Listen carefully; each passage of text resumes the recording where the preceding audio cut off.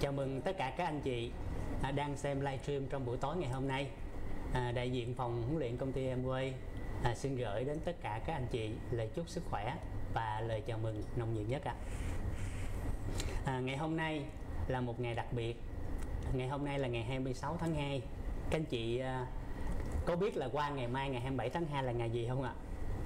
À, đó là một ngày đặc biệt, đó chính là ngày thầy thuốc Việt Nam. Và chính vì như vậy mà diễn giả khách mời của chúng ta trong buổi tối ngày hôm nay là bác sĩ Hùng đã dành rất nhiều thời gian để à, à, rất là happy khi mà nghe lời mời từ phía công ty khi ngày hôm nay có thể đến giao lưu cùng với tất cả các anh chị. Và à, nhân ngày chúng ta sẽ gửi lời chúc trước được không các anh chị? À, ngày hôm nay 26 tháng 2 thì đại diện cho tất cả các anh chị đang xem livestream đại diện cho công ty Amway à, xin gửi đến bác sĩ Hùng. Điều đặc biệt là ngày hôm nay mình sẽ gửi lời chúc sức khỏe đến bác sĩ đúng không các anh chị? À xin gửi đến bác sĩ Hùng lời chúc sức khỏe an vui và ngày càng thành công hơn trong công việc lĩnh vực sức khỏe của chính mình. À, vâng, vâng à, rất là cảm ơn à, Thi Khắc Vũ, à, đại diện cho công ty Amway đã có lời chúc tới à, ngành à, y tế của chúng tôi và thông qua à, chương trình livestream này à, là một bác sĩ tôi cũng à, rất là à, mong mỏi và luôn luôn kính chúc tất cả các bác sĩ, tất cả mọi người dồi dào sức khỏe, đặc biệt nhất á là trong cái mùa cúm corona ha. À, thì Covid 19 nó đã đang, đang có một cái tốc độ càng quét ở trên thế giới thì ngành y cũng đang phải chịu một cái áp lực à, lớn hơn rất là nhiều lần so với công việc hàng ngày thì ngày thầy thuốc Việt Nam năm nay cũng là một trong những cái thông điệp để cho chúng ta thấy à, về cái phương châm lương y như từ mẫu mà bác Hồ Chí Minh đã trao cho ngành y tế của chúng ta. À, cảm ơn bác sĩ rất nhiều. À, với thông tin này, một lần nữa thì chúng ta sẽ đến với bác sĩ Hùng, một trong những diễn giả mà nếu tính tới hiện tại về chuyên môn thì bác sĩ là một trong những diễn giả duy nhất chuyên ngành về bác sĩ nhận lời mời của công ty đi khắp à, đất nước Việt Nam của chúng ta. À, cụ thể là từ Bắc Giang tới Cà Mau. À, từ Bắc Giang tới Cà Mau và các chương trình mà các anh chị đã được giao lưu rất là nhiều với bác sĩ Hùng như là sức khỏe lá gan, sức khỏe về tim mạch, à, sức khỏe về xương khớp à, với 32 năm kinh nghiệm trong ngành là chuyên ngành hồi, hồi sức cấp cứu thì ngày hôm nay đặc biệt nhất là trong quá trình công tác trong ngành sức khỏe bác sĩ Hùng cũng có rất nhiều những đề tài nghiên cứu chuyên sâu về dinh dưỡng cho người bệnh nặng. Ngày hôm nay điều đặc biệt bác sĩ sẽ đến và giao lưu với chúng ta với chủ đề liên quan về lĩnh vực dinh dưỡng đó chính là dinh dưỡng nền tảng. À, tuy nhiên để bắt đầu chương trình và để mở rộng tư duy cũng như là giúp chúng ta giao lưu dễ dàng hơn trong công việc hỗ trợ cho sức khỏe của chính mình một điều mà khi nhắc tới sức khỏe ai cũng quan tâm à, tuy nhiên khi trực tiếp đặt vấn đề câu hỏi liên quan tới sức khỏe chính câu hỏi này nhiều người cũng hơi bỡ ngỡ à, ngày hôm nay rất mong bác sĩ Hùng có thể chia sẻ cho cả nhà hiểu rõ hơn định nghĩa của tổ chức y tế thế giới à, sức khỏe là gì để cả nhà có cái nhìn rõ hơn ạ À, vâng, à, nếu mà nói về à, chủ đề của ngày hôm nay của chúng ta là dinh dưỡng nền tảng thì thực sự là dinh dưỡng phục vụ cho sức khỏe. Thành ra đầu tiên là chúng ta phải biết là sức khỏe là cái gì. Thì theo Tổ chức Y tế Thế giới WHO định nghĩa từ năm 1978 tức là từ rất là xa xưa rồi. Dạ. Thì Dũng biết là người ta, à, Tổ chức Y tế đã định nghĩa là sức khỏe không phải là một tình trạng vắng bóng bệnh tật. Ví dụ bệnh là không khỏe rồi. Dạ. À, bệnh là không khỏe rồi, không phải là sự vắng bóng của bệnh tật hoặc là mình ốm yếu nên ngay cả là ốm quá là cũng không khỏe được. À, dạ. À, mà còn là một cái trạng thái hưng phấn, hưng thịnh toàn diện về thể chất này, về tinh thần và tất cả những cái mối quan hệ xã hội. Dạ. Thì riêng về cái định nghĩa này thì Dũng thấy là dễ hay là khó để mà thực hiện à? Ờ, nó cũng không dễ lắm. À, thực sự là không dễ. Ví dụ như về thể lực á Dạ. thì người ta hay nói là một cái tinh thần tráng kiện trong một cái cơ thể à, một cái tinh thần khỏe mạnh trong một cái cơ thể tráng kiện. Thì mình nghĩ là cơ bắp sáu múi như mấy anh ở những cái phòng tập gym chẳng hạn thì đó là một cái điều rất là định nghĩa về sức khỏe. Nhưng mà thực sự thì về mặt thể lực không đến nỗi phải sáu múi như vậy. Còn về mặt tinh thần đó là một cái trạng thái mà lúc nào chúng ta cũng có thể là vui vẻ. Vũ thấy là à, ở trong cái cuộc sống có phải là khi mà mình khôi hài lên thì cuộc sống nó sẽ tốt đẹp hơn đúng không ạ? à, dạ đúng rồi À, khi mình khôi hài thì tốt đẹp hơn thì à, để hiểu về sức khỏe tinh thần mình có thể biết một điều thế này này à, theo Vũ thì sức khỏe là của ai à? Ờ, sức khỏe là của chính mình à sức khỏe là của mỗi người của chính mình đúng rồi. do ai quản lý Ờ, nếu theo định nghĩa đó thì mình phải quản lý. À mình quản lý. Nhưng mà nếu mà mình không quản lý được thì ai quản lý? Thì chắc là bác sĩ đúng không? Bác sĩ quản lý. Nhưng mà nếu mà mình vô bệnh viện mà cũng gặp bác sĩ rất là cao có rất là u sầu rồi bác sĩ tiểu đường bác sĩ béo phì. Vậy thì ngay cả bác sĩ còn quản lý sức khỏe không được cho bác sĩ thì làm sao quản lý được sức khỏe cho mình đúng không ạ thành ra mình có một cái lời khuyên rất là vui cho ngày thầy thuốc đó là à, nếu mà chúng ta chăm sóc sức khỏe gửi gắm cái chăm sóc sức khỏe thì phải gửi gắm những bác sĩ đẹp trai đẹp gái không? Trẻ trắng ờ, trẻ trẻ khỏe và là quá ngược đúng không? Ạ nhưng mà nói về sức khỏe tinh thần có nghĩa là cái trạng thái người ta khỏe thì người ta mới khôi hài được mới có thể vui vẻ được. Một cái người bệnh thì không thể nào là người ta có thể trạng thái vui vẻ được. Dạ. Còn các cái mối quan hệ xã hội ở trong cái định nghĩa sức khỏe này thì nó lại rất là rất rất rất là là phong phú à, từ một cái việc à, ví dụ như là chúng ta à, trong cái quá trình sống chúng ta sẽ đi đến nhiều vùng miền khác nhau giao lưu với nhiều cái nền văn hóa khác nhau nhiều cái nền ẩm thực khác nhau. Và có nhiều người thì lại không có hòa hợp được với những cái cộng đồng khác với là cộng đồng mình đang sống. Thì đó cũng là một cái tình trạng không khỏe. Dạ. do đó là để có một cái sức khỏe và xã hội thì đặc biệt mình phải có một cái sự trải nghiệm ở trong cuộc sống. Và mình vượt qua những cái trải nghiệm đó mình có nhiều cái kinh nghiệm nhiều cái vốn sống. Như vậy thì định nghĩa trở lại sức khỏe đó là một trạng thái hưng thịnh về thể lực về tinh thần và các cái mối quan hệ xã hội. Nếu mà như vậy thì văn hóa của bạn cũng có thể cho tôi biết rằng bạn có khỏe hay không khỏe. Dạ. à, chứ không đơn giản là là là chỉ về cái cơ sáu múi hay không? Dạ. À. vậy thì một trạng thái khỏe mạnh nó không đơn thuần là vắng bóng bệnh tật. Vậy thì trong cái thế giới nhỏ của gia đình của chúng ta hàng ngày thôi nếu như mà ghen tuông cũng dẫn tới bệnh tật đúng không anh Ồ, ghen là bệnh nhiều lắm á, Dạ. đặc biệt là ghen là là là tốn rất là nhiều vitamin À. nhóm B. Thành ra tôi khuyên là các bạn nếu mà sau này các cặp vợ chồng trẻ một cái vấn đề gì đó mà cần bàn cãi nhiều thì Dạ. trước đó hãy uống một, một mỗi người một nắm B trước đi. À. À, thì thì tự nhiên uống xong rồi cảm thấy là mọi việc nó sáng lạc ra. à vậy là có thể giải quyết được một phần về định nghĩa đúng không? Đúng rồi. dạ vậy thì à, với cái định nghĩa về sức khỏe như vậy theo bác sĩ hùng với kinh nghiệm của mình thì điều gì có thể giúp cho chúng ta đạt được cái tình trạng đó chính là đạt được trạng thái sức khỏe tối ưu ạ? À, trong ờ, ngành dinh dưỡng hiện nay thì người ta có thêm một cái định nghĩa nữa à, một cái thuật ngữ nữa là sức khỏe tối ưu. Sức khỏe tối ưu là khi mà bạn thỏa mãn cả bốn cái điều kiện sau đây. Thứ nhất là bạn phải tập thể dục tốt. Dạ. À, Để tập thể dục tốt ví dụ như là tập ít nhất là mỗi lần à, là khoảng 45 tới 60 phút. Dạ. à, mình nói tối thiểu thôi nha. À, 45 tới 60 phút và 5 buổi trên 7 buổi trong một tuần. À, suy nghĩ thứ hai là suy nghĩ lạc quan. Có nghĩa là việc gì thì nó cũng có giải pháp hết. Do đó là chúng ta sẽ hướng tới giải pháp chứ không phải phân- phân tích chỉ trích. Thì cái người nào mà luyện được như vậy thì suy nghĩ dần dần họ sẽ lạc quan. Thứ ba là ngủ phải đủ giấc. Dạ. đối với một người bình thường à, không biết là người ừm, vũ là ngủ bao nhiêu tiếng một ngày à? Ừ, điều này thì chắc phải tùy hàng ngày công việc nhưng thông thường thì nó dao động khoảng chừng 5 cho tới 7 7 tiếng. 5 tới 7 tiếng. Thì đối với một cái à, người trưởng thành thì thời gian đó là 7 đến 8 tiếng Dạ. một ngày. Trẻ con thì nó có thể ngủ nhiều hơn ví dụ như là trẻ ngủ nhi tức là trẻ ở độ tuổi dưới một tuổi thì nó có thể ngủ 17 đến 18 giờ một ngày. Dạ. bởi vì nó ngủ xong nó mở mắt nó lăn ra nó nó nó, nó, nó được bú xong rồi là là nó lại ngủ tiếp.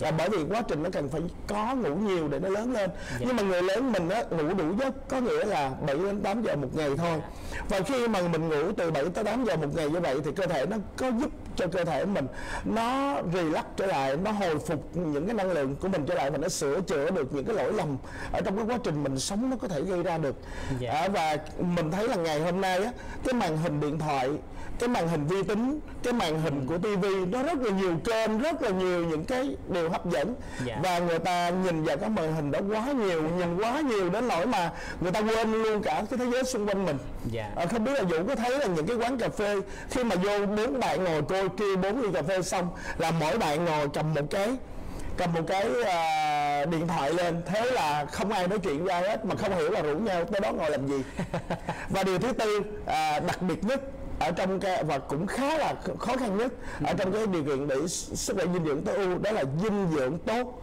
Dinh dưỡng tốt thì bao gồm là không khí tốt nước tốt và đồ ăn tốt. À. à thì cả bốn cái đó mà tụ họp lại thì nó mới có thể đảm bảo được về cái sức khỏe tối ưu của mình. Thế thì mình hỏi vũ nha. À, cho hùng hỏi vũ là à, mình tập thể dục có tốt không ạ? Dạ tốt chứ.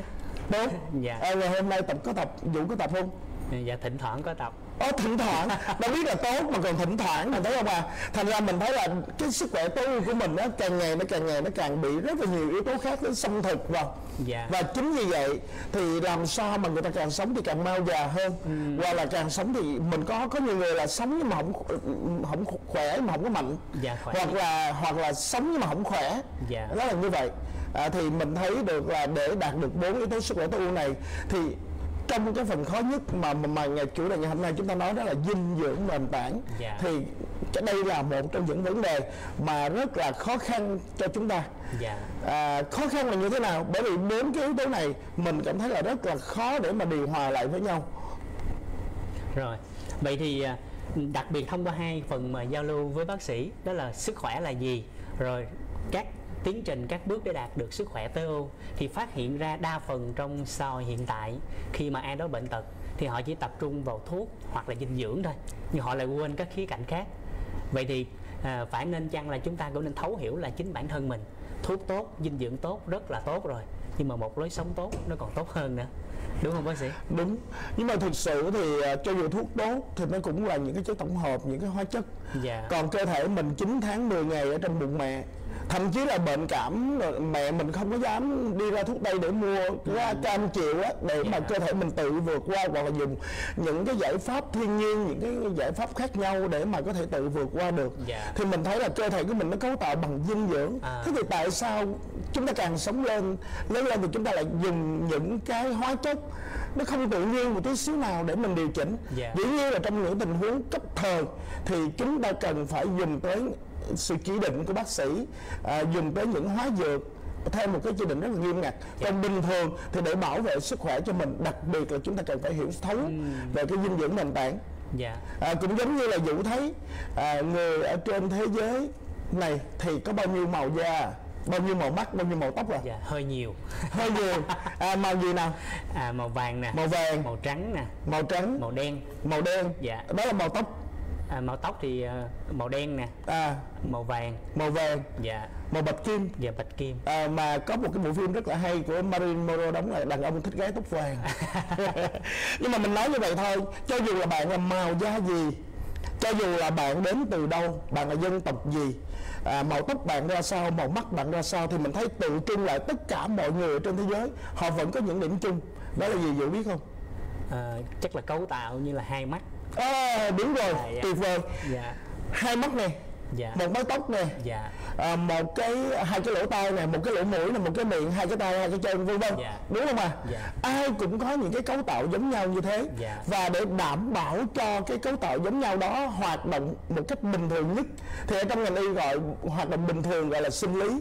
Và ở trong ngành dinh dưỡng thì hoạt động bình thường thì gọi là chức năng. Dạ. À, và khi mà cơ thể mình làm sao để nó hoạt động một cách bình thường nhất thì đó là cái trạng thái khỏe mạnh nhất. Và chúng ta dinh dưỡng nền tảng là chúng ta đi đi đi đi xây đắp cho cơ thể mỗi một ngày những cái yếu tố này.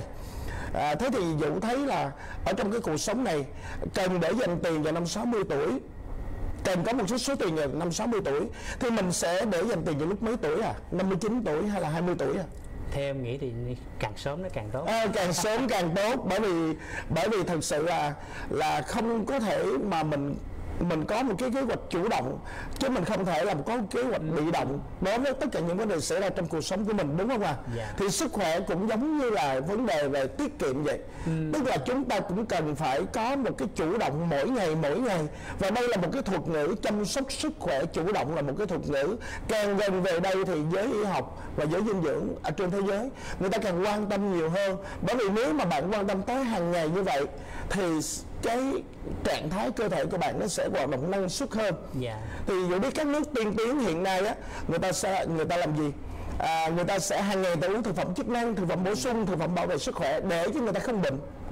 À, và nếu có bệnh đi chăng nữa bệnh nhẹ hơn người khác à, còn mình thì đợi bệnh mới đi uống thuốc bởi vì rất là tiếc tiền hoặc là không có nhiều tiền để mà có thể chi như vậy. Nhưng thực sự có phải là chăm sóc dinh dưỡng chủ động thì chúng ta phải tốn rất là nhiều tiền hay không? Thì thật sự trong cái chương trình này mình cũng sẽ mình cũng sẽ giúp cho mọi người giải tỏa được cái tâm lý này. Dạ cảm ơn bác sĩ rất nhiều. À, về khía cạnh như lúc nãy bác sĩ có trao đổi một trong những bốn cái yếu tố mà chúng ta khó có thể thực hiện được hoặc là có thể là trong cái quá trình lựa chọn cung cấp cho chúng ta đó chính là khía cạnh mà dinh dưỡng như bác sĩ đã chia sẻ. Và có nhắc tới một thuật ngữ nó liên quan tới chương trình ngày hôm nay thì đó là dinh dưỡng nền tảng. À. vậy thì dinh dưỡng nền tảng là gì ạ? Bác sĩ có thể dinh dưỡng nền tảng hay là foundation nutrition? Đó là một cái giải pháp mà người ta chăm sóc vào sức khỏe đơn vị sức khỏe nhỏ nhất của cơ thể của mình. À, đó là đơn vị gì ạ là tế bào. à vâng Dạ. đó là tế bào. Đó là tất cả cơ thể chúng ta thì hầu hết là nó cấu tạo bởi những tế bào. Do đó là những thành phần nào của tế bào để cho tế bào khỏe mạnh chúng ta cũng phải biết để chúng ta chú ý chúng ta chăm sóc thì nó sẽ rất là tuyệt vời. Thì để nói về một cái tế bào à, mình à, sẽ mà Vũ nhìn xong trong cái tấm hình này đây là vẽ hình cắt ngang của một cái tế bào à, cơ thể người. Thì mình thấy là tế bào nó sẽ có cái vách cái vách tế bào nó giống như là chúng ta có một cái căn nhà và nó có cái bờ tường của cái căn nhà đó. À, thì cái tế bào này cấu tạo bởi cái gì? Bởi hai cái thành phần chính đó là phospholipid tức có nghĩa là phospholipid có nghĩa là chất béo. Ừ. và một cái thành phần thứ hai đó là lipoprotein có nghĩa là lipo là chất béo và protein có nghĩa là chất đạm. Thì chất béo và chất đạm ở đây thì mình định nghĩa đó là những cái thành phần cơ bản của cái sự sống. Và những cái chất này cũng là những cái chất cung cấp vừa là cung cấp cấu tạo cho cơ thể mà vừa là cung cấp cái năng lượng cho cơ thể nữa. Thành ra là chữ thiết yếu hay là chữ cơ bản hay là chữ nền tảng nó nằm ở chỗ này. À. à, và bên trong cái bào mình đi vào từ ở ngoài vào trong nó giống như là kết cấu của một ngôi nhà mình thôi ở chính giữa. À, ở trong nhà mình ở chính giữa đó là là là, là phòng khách đúng không ạ? Dạ. à, là gian thờ đúng không ạ? Thì ở trong tế bào chính giữa đó là cái nhân. Và trong nhân là chứa một cái thành phần rất là quan trọng là ADN ADN cũng là một cái chuỗi polypeptide một cái chuỗi acetamin thôi. Nhưng mà thực sự cái trật tự cái chuỗi này nó rất là quan trọng và cần phải giữ cái điều hòa của cái trật tự này. Và càng ngày về sau này người ta có rất là nhiều công trình nghiên cứu và người ta phát hiện ra dưỡng chất thực vật hay gọi là phytonutrient thì nó có liên quan mật thiết với cái vấn đề là bảo tồn và điều hòa hoạt động của cái thành phần à, trụ cột của tế bào tức là ADN này. À. ngoài ra thì vũ còn thấy là những cái tế bào màu những thành phần màu hồng hồng này. Đây là những cái ti lập thể hay là ribosome hay là ti thể thì đều gọi là cái tên chung của đây. Thì đây là cái cơ quan tạo ra cái nhà máy năng lượng cho cái cơ thể của chúng ta. Và những cái thành phần khác ví dụ là bộ lưới Golgi nè rồi ARN à, những cái à, những cái RNA thông tin RNA vận chuyển để nó vận chuyển những cái chất và bổ vào trong cơ thể cũng như là nó vận chuyển những cái chất mà nó cần đào thải ra ngoài thì hoạt động của một cái tế bào này nếu mà chúng ta biết được thì nó cũng sẽ rất là tuyệt vời. Thành phần vỏ của cái tế bào này thì là mình biết là acetamin à, lipo là ở đây là những cái axit béo và đặc biệt nhất là những cái axit béo không no. Thì nó mới có vai trò về về trao đổi chất tốt cho cơ thể. À, cái thành phần thứ hai đó là những cái cửa nó phải có chỗ đi để đi ra đi vào trong cái tế bào. Thì thành giữ cửa của những cái người này đó là kali này natri nè hydro nè à, canxi nè. Nhưng tất cả những cái yếu tố này nó đều ở dạng ion. À. À, thì khi mà nó chạy ra hay chạy vào của những cái chất âm thần giữ cửa này nó sẽ lôi theo và- vào hoặc là ra những cái chất cần thiết. Ví dụ là nó nó đưa những cái chất dinh dưỡng vào và nó đưa những cái chất không cần thiết đi ra ngoài. Thế thì quá trình hoạt động của nhà máy năng lượng cung cấp cho tế bào này hoạt động thì tế bào này nó cũng sẽ sản sinh ra rác à, rác ở đây cũng có hai nguồn gốc đó là rác gốc nước và rác gốc dầu. À, rác gốc nước mà mình mình biết cái một cái nguyên lý dụ biết cái nguyên lý đó là nước thì tan trong nước dầu thì tan trong dầu. Như vậy thì những cái rác mà gốc nước thì nó sẽ được những cái chất chống oxy hóa gốc nước để giúp đào thải nó ra ngoài. Mà ở đây mình muốn nói đến đó là những cái vitamin. Dạ. ví dụ là những vitamin tan trong nước B, C, H dạ, à, dạ. còn những cái vi, những cái rác gốc dầu thì những cái vitamin tan trong dầu nó sẽ góp phần để đào thải ra hòa Dạ. tan và đào thải ra như như là A, D, E, K vâng à, thì mình thấy những cái nguyên liệu này thì mình phải đảm bảo cho cái tế bào mình hoạt động tốt thì cơ thể mình nó cũng sẽ tốt được Dạ. Rồi. Cảm ơn anh Hùng rất là nhiều. À, thông qua phần chia sẻ như anh đã chia sẻ thì cấu tạo cơ bản của cơ thể con người đó là từ tế bào và những gì anh vừa trao đổi với nó, nó, nó quá nhiều những thông tin có thể giúp cho mọi người hình dung lại. Vậy thì theo anh đó là dinh dưỡng nền tảng á, thì nó bao gồm những nhóm nào? Có cái vai À. trò và chức năng ra sao? khi khi mà mình nói về cái dinh dưỡng nền tảng á, thì mình thấy à, nó phải là những cái nhóm chất nào mà nó đảm bảo được cái sự cung cấp đầy đủ tất cả những cái nguyên liệu cho tế bào cho cơ thể của mình với một cái thành phần cân đối và những cái đặc biệt là những cái chất mà cơ thể mình có thể khiếm khuyết trong cái quá trình mà mình mình à, sống á à, nó dễ bị khiếm khuyết mà chúng ta hiểu được và chúng ta bù vào thì nó sẽ rất là tốt. Dạ. thì à, mình cũng có nói được hai cái lỗ hổng mà thượng đế dành lại cho con người. Không biết là vũ và các bạn à, đang xem qua livestream có cảm hứng về vấn đề này không ạ? Thật ra thì à, khi mà cái cơ thể con người chúng ta được tạo dựng nên á à, đặc biệt nhất á là cái nhóm năng lượng đó là đường đạm và mỡ thì mình thấy cái nhóm năng lượng của mình á cái chất à, đường thì mình không thiếu Dạ. À, và chất đường này thì đặc biệt là tim não thận mắt tức là những cái cơ quan quý đó rất là thích À, nên á, khi mà à, chúng ta đang có một vấn đề gì đó về cơ thể bị sốc chẳng hạn thì lập tức là chúng ta sẽ xỉu để máu nó dồn về bốn cái cơ quan quý này Dạ. tim não thận mắt của chúng ta Dạ. còn cái nhóm thứ hai à, và nó chỉ cho ra là một gram đường thì cho ra một gram glucose thì cho ra 5 kcal thôi Dạ. à, cái nhóm thứ hai đó là cái nhóm chất béo thì nhóm chất béo ở trong cơ thể chúng ta ở đây đó là chúng ta đang cần rất là nhiều cho những cái à, hoạt động ví dụ như là hoạt động của các hormone Dạ. à, hoạt động của để để để mà hòa tan một số cái vitamin để chống oxy hóa ờ, cho tế bào còn cái nhóm thứ ba đó là nhóm chất đạm Dạ. thì đây là một cái lỗ hổng đầu tiên à, cơ thể của mình là dù biết là có bao nhiêu loại axit amin không ạ thực sự thì mình trả lời luôn đó là có rất là nhiều loại axit amin Dạ. cụ thể là người ta tính là khoảng 5.000 loại axit 5.000. amin gì À.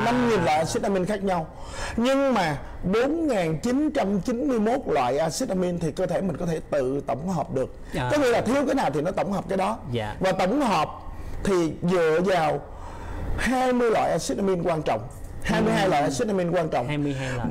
22 loại axit amin quan trọng đó thì lại có 13 cái loại axit amin gọi là axit amin có thể tự tổng hợp được Dạ. 22 loại quan trọng vẫn có 13 loại cơ thể mình tự tạo ra được Dạ. à, nhưng mà có 9 loại thì cơ thể không tự tạo ra được À. nên nếu mình thiếu thì có nghĩa là chúng ta không có sức khỏe mà định nghĩa về cái chữ protein thì Vũ biết là từ cái tiếng Hy Lạp gọi là quan trọng nhất hay là yếu tố số 1 của sự sống Sự sống. thì chính axit amin quan trọng này à, không biết là Vũ có thể à, mọi người có thể nhớ tên của chính axit amin này không Dạ. à, mình kể một số nhé ví dụ như là leucine này Dạ.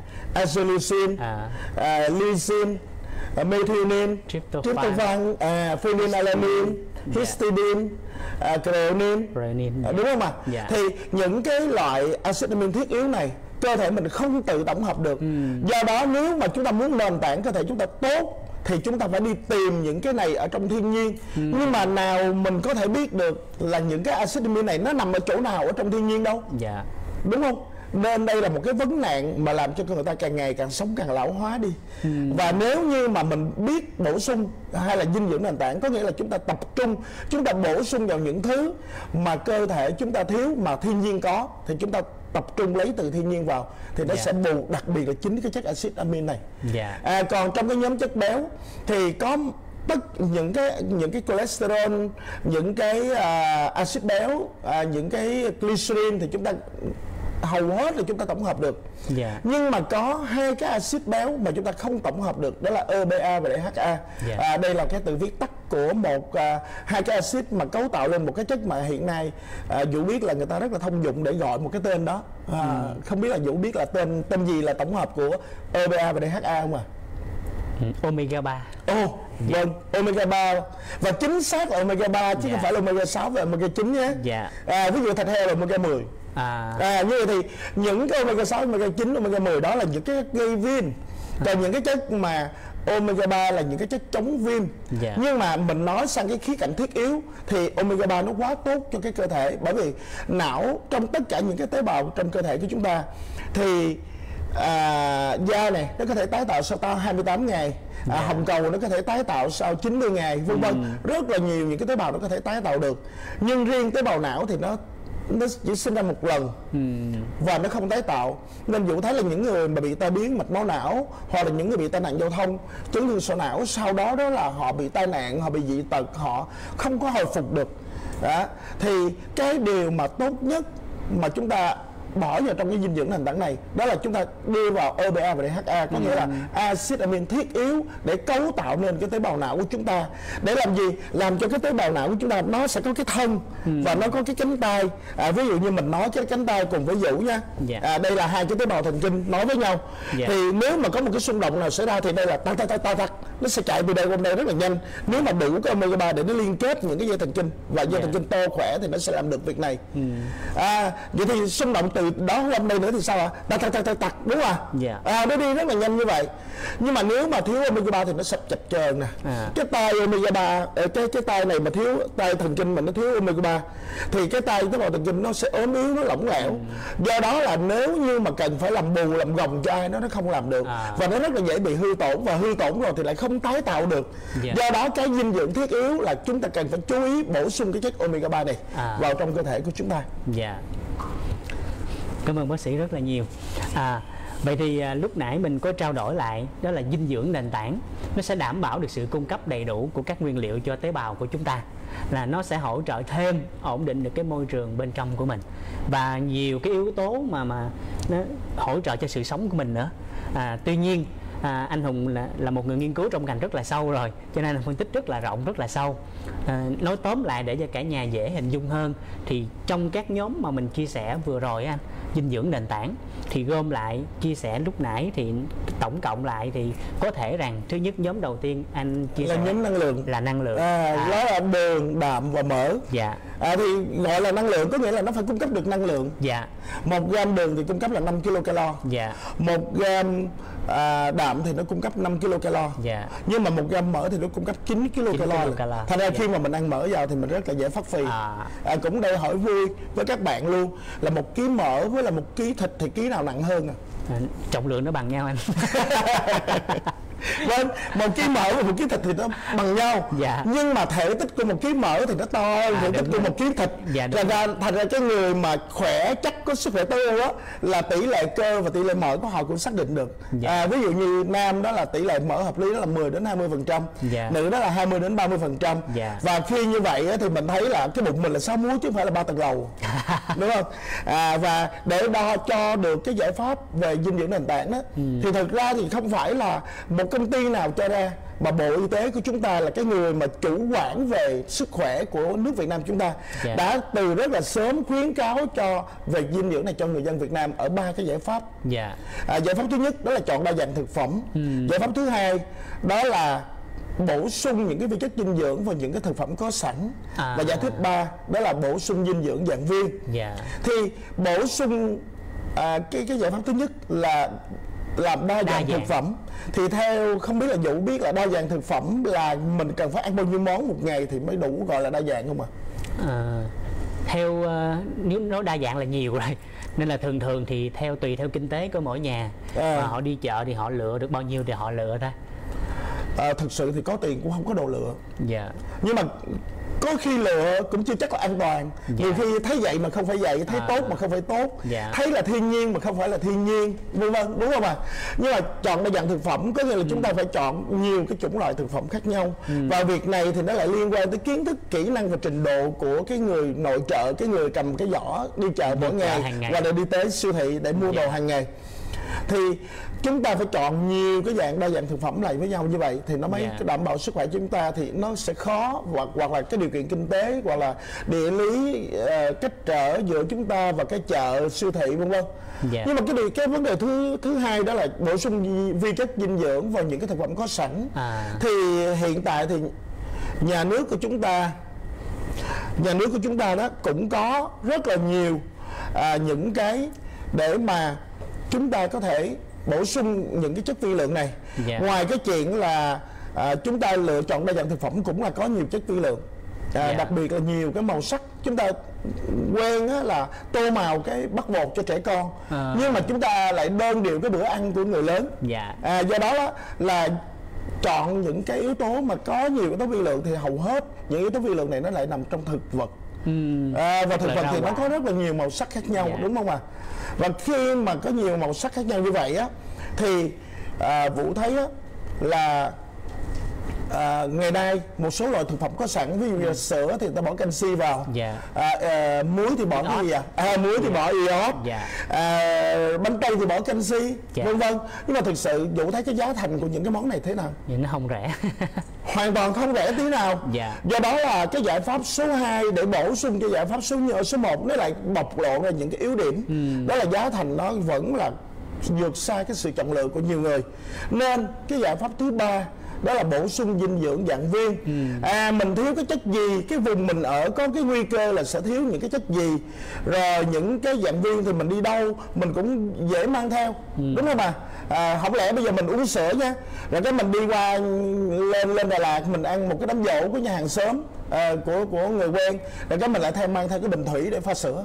Đúng không ạ? À, nó rất là bất tiện. Trong khi dinh dưỡng dạng viên thì nó tiện lợi hơn nhiều. Dạ. và mình có thể định lượng đặc biệt là những cái dinh dưỡng dạng viên bây giờ người ta định lượng chính xác từng mg chất gì bao nhiêu mg chẳng khác nào là ở trong cái ngành thuốc tây của mình. Dạ. Vì là nhóm đầu tiên nó chứa năng lượng đó là chất bột đường Chất bột đạm đường, và chất béo. chất đạm và chất béo. Chất thứ nhóm thứ hai là gì ạ à, chất à, nhóm thứ hai đó là những cái nhóm chất vi lượng. À vi lượng. À, vi lượng.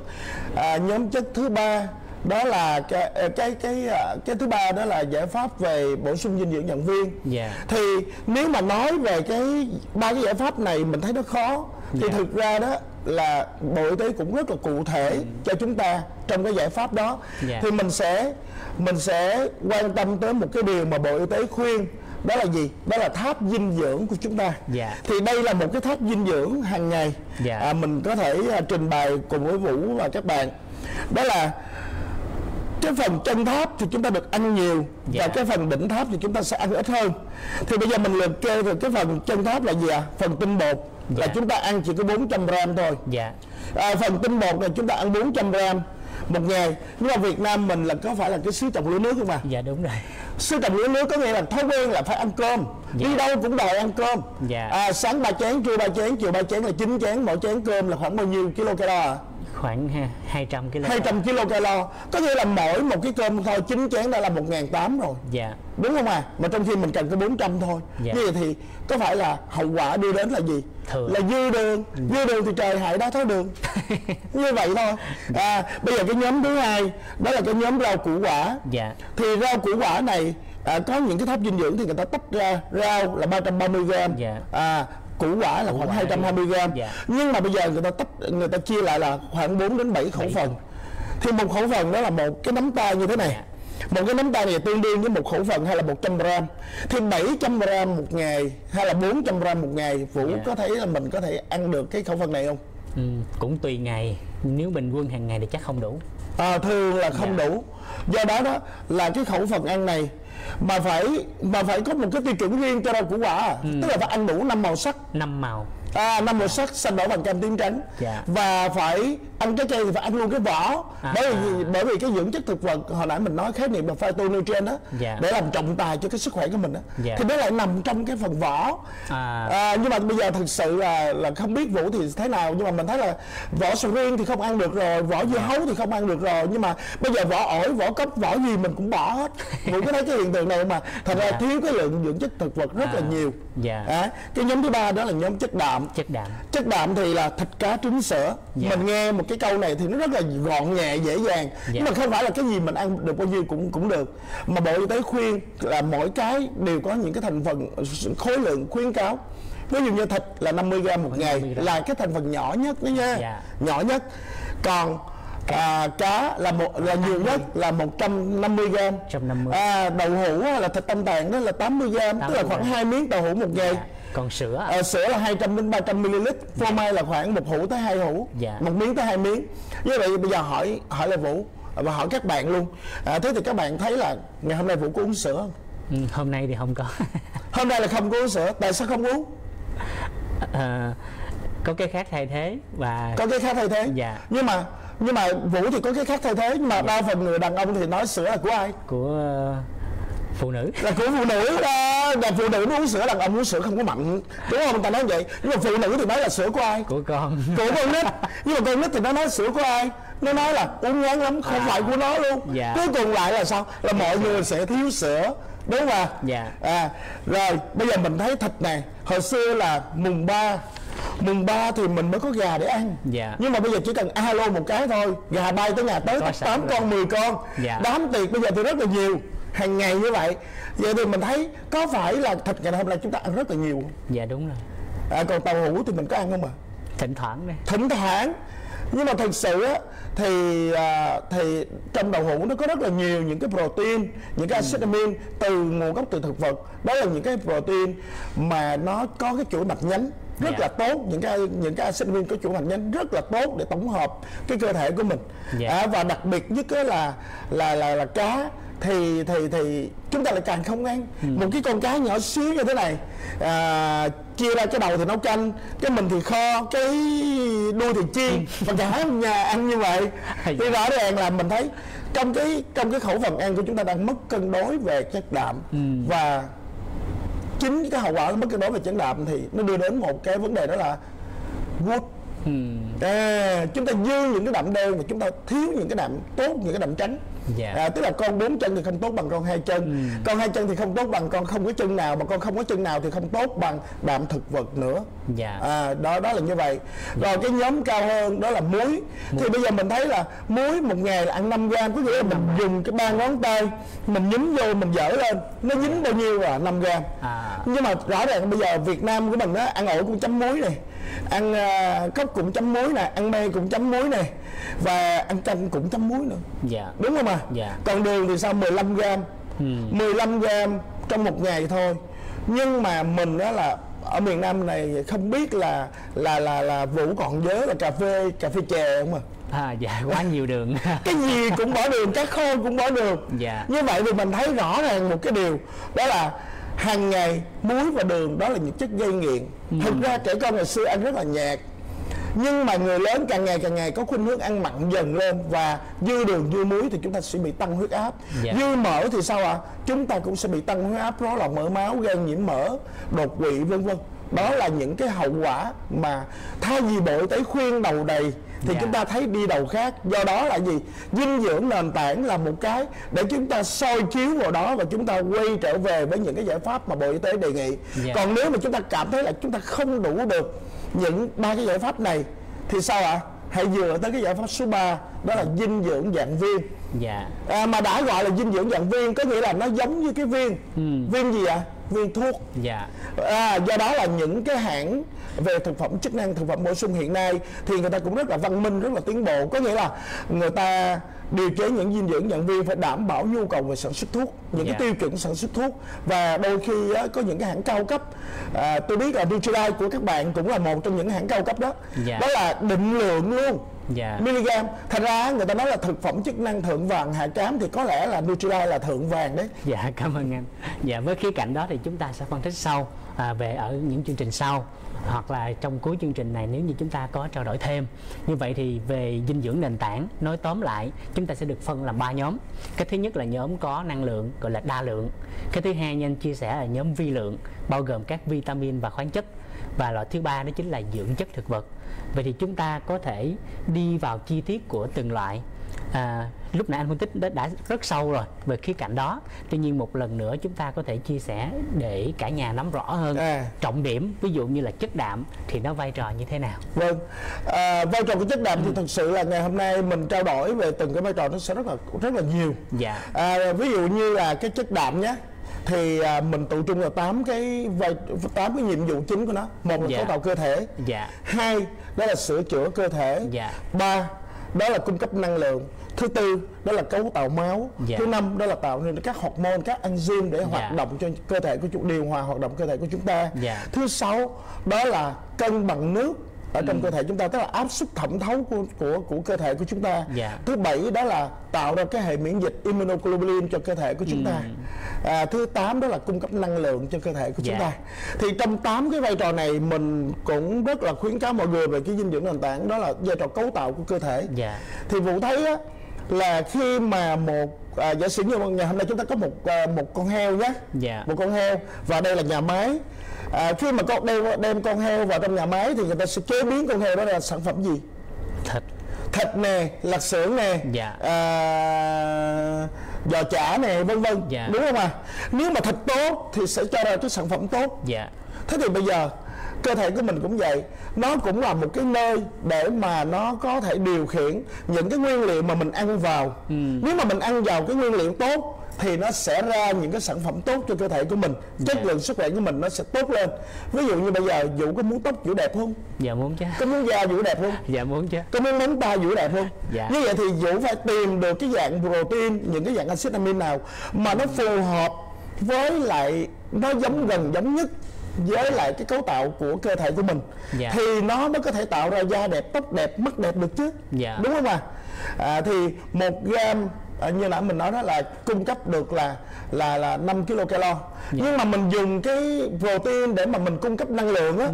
thì có vẻ như nó hơi phí bởi vì trong các cái nhóm cung cấp năng lượng thì protein là đắt tiền nhất dạ nhưng mà thôi thì cung cấp năng lượng cũng được nhưng mà đối với những cái người mà muốn giảm cân Dạ. nếu mà mình muốn giảm cân thì mình cung cấp cái năng lượng này vào thì đã những người những, dù biết là những người đã mập rồi Dạ. mà còn thích ăn vặt nữa Ừ.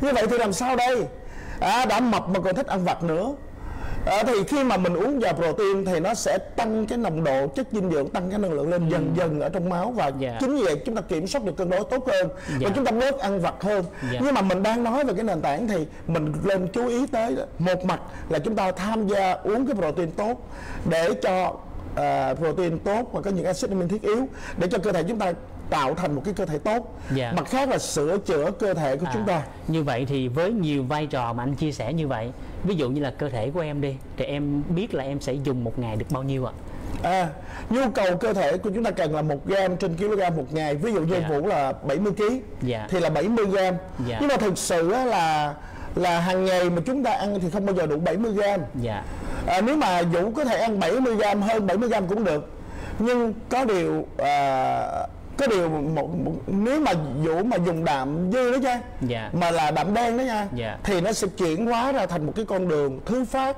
Ừ. à, thì cái con đường nó sẽ tạo ra những cái chất purin đóng lên trên những cái khớp Ừ. và tạo thành bệnh gút à còn nếu như mà nạp vào đạm tốt á thì đó đó đó, đó là một điều rất là may mắn cho mình À, anh Hùng có thể chia sẻ cái tiêu chí đạm như thế nào đạm tốt không? À, đạm tốt thì ngày nay á là là người ta à, các cái hãng thực phẩm hay là các cái hãng dược phẩm thì người ta đều đều show ra những cái những cái những cái à, những cái chỉ tiêu những cái hàm lượng của mình.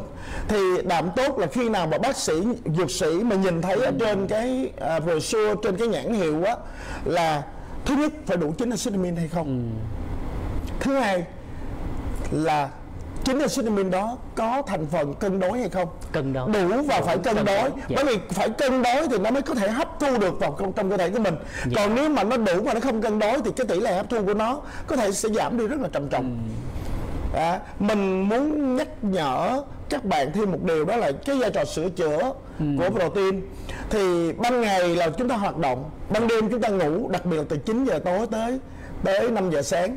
Thì đó là cái thời gian vàng để cho cơ thể chúng ta hồi phục lại và sửa chữa lại. Bởi vì một phút thì cơ thể chúng ta sẽ có 25 triệu tế bào sinh ra và 25 triệu tế bào chết đi. Như vậy thì trong cái quá trình chia phân chia tế bào sinh ra và chết đi đó thay củ đổi mới đó chắc chắn nó sẽ có lỗi lầm. Dạ. À, và khi mà chúng ta ngủ như vậy là thời gian để cơ thể nó sửa chữa những cái lỗi lầm của nó. Dạ. và chúng ta nạp cái protein vào trong cái buổi chiều buổi tối này một muỗng à, thì khoảng 10 gram chẳng hạn thì nó có thể giúp cho cái quá trình sửa chữa này có thuận lợi hơn. Dạ. Vậy thì vậy. căn cứ vào thông tin mà à, bác sĩ Hùng mới chia sẻ thì cứ 1 kg thể trọng thì sẽ tương ứng 1 gram đạm đưa vào. À, lúc nãy thì về phần rau quả thì chúng ta có nói đó là tương ứng khoảng 400 đến 700 à, gram trên ngày. Vậy thì về phần chất béo với hiện tại hàng ngày đưa vào trong cơ thể của mình thông qua thực phẩm thì khuyến nghị là bao nhiêu ạ? à, theo khuyến nghị về chất béo à, đó là chúng ta phải chú ý tới những cái chất axit béo không no. À, mà chất axit béo không no thì nó sẽ có nhiều ở các cái loại hạt ví dụ như quả ốc chó này Dạ. à, quả lạc hay là à, lạc hay còn gọi là đậu phộng này Dạ. à, các loại hạt à, hoặc là à, từ cá đặc biệt là từ dầu cá và từ cá từ cá hồi cá trích À, đó là những cái loại cá mà cho rất là nhiều những cái chất omega 3 Dạ. để phục hồi để để mà tham gia vào hoạt động của màng tế bào để mà tham gia vào hoạt động chung của cơ thể của chúng ta. Và ít nhất là chúng ta phải ăn 200 gram cá mỗi một tuần. Dạ. Cá thì cá nào cũng được hay sao anh? Ờ, cá thì à, à, thực sự thì à, cá đó mà để cung cấp omega 3 thì nó phải là cá sống mình dụ thấy là những cái nước như là Nhật nè Dạ. à, Hàn Quốc nè người người ta có cái tuổi thọ rất là cao là bởi vì người ta có một cái món là hay ăn cá sống Dạ. mình còn nhớ cái đoàn du lịch của Việt Nam mình vào cái thời điểm đi Nhật á được ăn một cái bữa ăn cá sống đó là khoảng 100 đô nhé Dạ. mọi người là bỏ vào nước trụng cho nó chín Dạ. nhưng mà không biết rằng omega 3 khi mà mình chiên xào mình nấu á thì nó trở thành omega 6 và omega 9 đồ chiên đi chiên lại trans fat những Dạ. sản phẩm đó thì nó sẽ thành omega 6 omega 9 dạ. Nên mình cảm thấy là rất là tiếc. Nên à, có điều kiện thì chúng ta cũng nên tập nhưng mà không tập được thì sao? Tốt nhất là chúng ta nên uống cái viên dầu cá là tốt nhất. Dạ. Vậy thì thông qua những gì mà mình mới trao đổi với nhau á ừm, về hàm lượng đạm này, hàm lượng chất béo, về hàm lượng rau thì đa phần em phát hiện được đó chính là người ta sẽ không thể nào bổ sung đủ hàng ngày. vâng chính xác là không bổ sung đủ hàng ngày Dạ. thì bây giờ mình có thể kết luận lại là trong cái thực khẩu thực, thực, thực đơn của cái người Việt Nam của mình hiện nay Dạ. để đảm bảo cho cái dinh dưỡng nền tảng thì chúng ta đang đứng trước một cái vấn nạn Ừ. thứ nhất là về chất đường thì chúng ta đang dư dạ thứ hai là chất mỡ thì chúng ta đang dư nhưng mà chúng ta lại thiếu cái mỡ thiếu cái omega 3 axit béo tốt. À, dạ. À thứ ba là chất đạm. Thì chúng ta đang cung cấp rối loạn và thiếu cái nguồn đạm axit amin thiết Hoàn yếu, thiết yếu, từ dạ. thực vật. Dạ. À, còn các cái vitamin à, trọng tài của nhóm năng lượng đấy là vitamin à, khoáng chất và những cái dưỡng chất thực vật. Dạ. thì chúng ta lại càng thiếu à, do đó người ta mới nói là là là là thuốc nam y trị người nam y vậy đó. À, Dạ. à đó là chúng ta chết ở trên đống thuốc là như vậy. À, thành ra nếu mà chúng ta biết được về cái sức mạnh của thiên nhiên sức mạnh của những cái dưỡng chất thực vật và rau củ quả bởi vì 99% những cái vitamin khoáng chất nó sẽ đến từ thực vật. Dạ như vậy là việc bổ sung rất là quan trọng À, bổ sung dinh dưỡng nền tảng. dạ Như vậy thì chúng ta bổ sung dinh dưỡng nền tảng là gì à? Vũ có thể cùng mình tổng kết lại Dạ. là chúng ta bổ sung chín axit amin thiết yếu nè. dạ Chúng ta bổ sung Axit à, axit béo omega 3 dạ và chúng ta à, bổ Vitamin, sung chất. vitamin, khoáng chất Dạ. và những cái dưỡng chất thực vật. vật. Dạ. À, chính xác là như vậy. Dạ, vậy thì với việc bổ sung đó với cương vị là một bác sĩ và đặc biệt nhất là trong ờ, khoảng thời gian công tác anh cũng là một chuyên gia về dinh dưỡng nữa. Theo anh thì tiêu chí để lựa chọn một thực phẩm bổ sung hay thực phẩm chức năng là như thế nào? à, tiêu chí để mà mình lựa chọn một cái thương hiệu thực phẩm chức năng thì à, mình có à, mình có mình là một người vốn rất là khắc khe về lựa chọn thuốc cũng như là lựa chọn về dinh dưỡng Dạ. hay là lựa chọn những cái sản phẩm à, dược và cận dược cho cho bệnh nhân của mình à, kinh nghiệm của mình đó là thứ nhất thương hiệu về đã gọi là dinh dưỡng thì phải thiên nhiên. Dạ, và thiên nhiên là phải có kiểm soát cơ. Dạ, thiên- tức là thiên nhiên có kiểm soát cao nhất hiện nay ở trên thế giới người ta nói là gọi là thiên nhiên có nguồn gốc hữu cơ. Dạ, à, tức là phải được trồng trọt trên những nông trại hữu cơ. Dạ, thứ hai đó là những cái nguồn thiên nhiên này thì nó phải à, đảm bảo chính xác những cái chất mà mình cần. Ừ. à, ví dụ ví dụ giống như là thuốc tây hồi nãy mình nói đó tức là chất gì bao nhiêu, Bao nhiêu. hàm lượng rõ ràng là bao nhiêu Dạ. à, và cái thứ ba nữa đó là khi mình dùng vào trong cái cơ thể của mình thì nó phải có cái khả dụng Ừ. tức là mình phải thấy sự thay đổi rất là ngạc nhiên rất là rõ rệt về cái sức khỏe của mình chứ không thể mà mình dùng giống như không dùng được Dạ. à, có rất là nhiều người họ họ họ không có cam tâm khi mà mình khuyên họ uống thực phẩm chức năng hay thực phẩm bổ sung bởi vì họ thấy là uống với không uống thì nó giống nhau Dạ. thực sự thì thì nếu mà chúng ta chọn đúng cái thương hiệu thì nó sẽ là rất là tuyệt vời Dạ. à, và tôi biết là thương hiệu Nutrilite mà Vũ đang là một chuyên gia về dinh dưỡng đó Dạ. cũng là một thương hiệu rất là tuyệt vời Vũ có thể giới thiệu cho mọi người về thương hiệu của mình được không À, dạ, cảm ơn anh rất nhiều. À, cảm ơn phần chia sẻ của anh Hùng về những tiêu chí mà người trong ngành giống anh đã vừa trao đổi.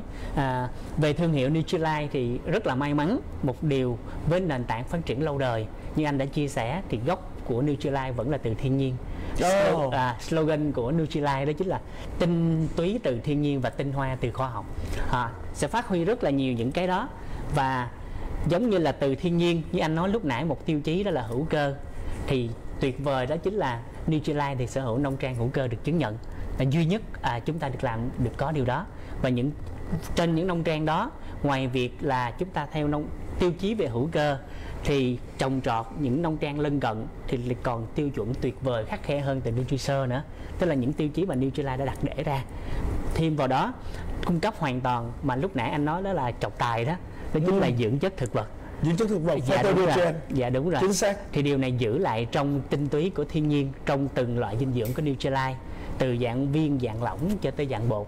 À, điều thứ hai đó chính là tinh hoa từ khoa học thì với thương hiệu của chúng ta à, chúng ta có một cái viện nghiên cứu chuyên biệt về Nutrilite đội ngũ nhà khoa học và chuyên gia dinh dưỡng rất nhiều ở trong đó. Hàng ngày họ đã tìm tòi phát huy những tinh hoa từ thiên nhiên đó dựa trên nền tảng của khoa học hiện đại để đưa ra những gì mà cho người dân và những gì ai cần để bổ sung những giá trị nền tảng như anh đã chia sẻ đó là sự kết hợp tuyệt vời giữa tự nhiên và tổng hợp à, Nếu mà nói về cái giá trị thương hiệu ở đây thì à, mình rất là hoàn toàn cảm thấy an tâm khi mà lựa chọn thương hiệu Nutrilite rồi. Dạ. Tại thật sự á, nếu mà mình check lên mạng mình sẽ thấy là thương hiệu Nutrilite này họ có khoảng là 6.400 ha đúng không ạ? À, dạ, 6.400 mẫu để mà trồng và hình như là thương hiệu này cũng gần 100 năm rồi. à, Dạ. chính xác là bao nhiêu năm à, hình như hơn là 85 năm rồi dạ thì với cái bây giờ mình nghĩ là cái thổ nhưỡng mà để đi mua để trồng nông trại hữu cơ nó khắc khe lắm á Dạ. bây giờ mà có tiền cũng chưa chắc là mua được Dạ, đúng. mà mua được rồi liệu có nông có canh nông theo phương pháp hữu cơ hay không dạ thành ra nếu mà như vậy thì rõ ràng là ngày hôm nay người ta cũng không dạy gì để mà mua đất mà trồng nhái theo Nutrilite trong khi Nutrilite có sẵn thì giá thành đó nếu mà ai nhái theo nó cũng phải đắt hơn nhiều Dạ. vậy thì Nutrilite có thể là một trong những sự chọn lựa của tôi Dạ cảm ơn anh. Với Nutrilite thì có thể tặng và trao đổi thêm với anh Hùng với ba cái chữ nhất.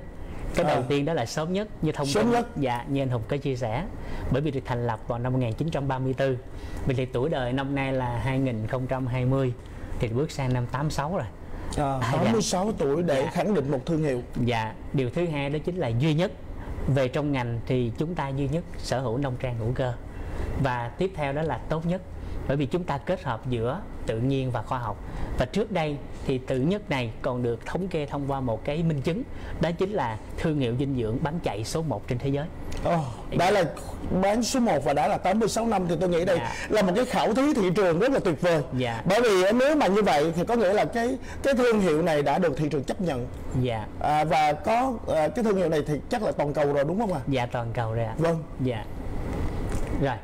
Vậy thì với những trao đổi mà chúng ta vừa ừm, Không biết là Nutrilite về nhiều giải pháp dinh dưỡng nền tảng giống như những cái chất mà mình cần như vậy thì Nutrilite thỏa mãn cho tất cả mọi người như thế nào? Dạ, à, cảm ơn anh Hùng rất là nhiều. Với Nutrilite, những gì mà trao đổi với anh nãy giờ thì gần như và thậm chí có thể đã vượt trội hơn gì anh chia sẻ. Wow. À, ví dụ như là về cái hàm lượng và hàm lượng đạm thì bên Nutrilite có, thực phẩm bổ sung dinh dưỡng đó chính là Nutrilite Online Protein Powder. Với loại này sẽ cung cấp chính axit amin thiết yếu giống như là anh Hùng chia sẻ. À, chúng ta đi vào chi tiết để có thể nắm thêm một vài thông tin. À, với protein thì đây là protein chất lượng cao được kết hợp từ ba nguồn thực vật đó chính là đậu nành, lúa mì và đậu Hà Lan à, công dụng của protein anh đã chia sẻ tổng quát rồi nhưng riêng về protein của Nutrilite thì bổ sung nguồn đạm thực vật này đó là thực vật cho nên là ăn chay hay ăn mặn đều vẫn chụp được cho nên không có lựa chọn khắc khe trong cái vấn đề là ăn chay hay ăn mặn nó sẽ hỗ trợ nguồn đạm thực vật nên cho nên là người có mỡ máu cao nè người có chế độ ăn ít đạm thì bổ sung rất là tốt dạ À, có có thể mình ờ, xin ờ, xin nói hỏi Vũ một tí xíu về Dạ. cái thông tin đạm này. Theo mình biết á, là đậu nành là một trong những cái loại thực vật mà cho chính axit amin thiết yếu gần như là đầy đủ nhất. dạ đúng À, gần như là đầy đầy đầy đủ nhất á. Dạ. Nhưng mà liệu là nó có cân đối thành phần hay không? dạ giống như Tiêu lúc chí thứ hai hồi nãy mình nói. Dạ cảm ơn anh rất là nhiều Giống như anh đã chia sẻ lúc nãy Đủ chính axit amin thiết yếu rồi Nhưng cần có sự cân đối Cân đối. Dạ Và nếu lấy chỉ riêng biệt đậu nành không Thì đủ axit amin Tuy nhiên nó là thiếu đi sự cân đối Và À. điều tuyệt vời nhất là các nhà khoa học Họ đã nghiên cứu Để bù đắp lại sự cân đối đó Thì họ lấy thêm nguồn axit amin Từ lúa mì và đậu Hà Lan Wow, À, vậy là chúng ta có một cái đậu thực vật kết hợp giữa ba Dạ đúng rồi À. Từ đậu nành, lúa mì và Hà Lan Trên đáp ứng đủ hai tiêu chí như anh chia sẻ là vừa cân đối mà vừa đủ chính Đủ axit amin axit thiết yếu. thiết yếu Dạ Như thế thì mình an tâm mình chọn lựa cái ờ, protein on blend powder của em. Dạ, ngoài ra nếu như cung cấp đủ hàm lượng protein này thì hàng ngày như vậy có thể giúp cho chúng ta ngăn ngừa được các nguy cơ về bệnh tim mạch. Dạ. À, Vâng, nhất định rồi.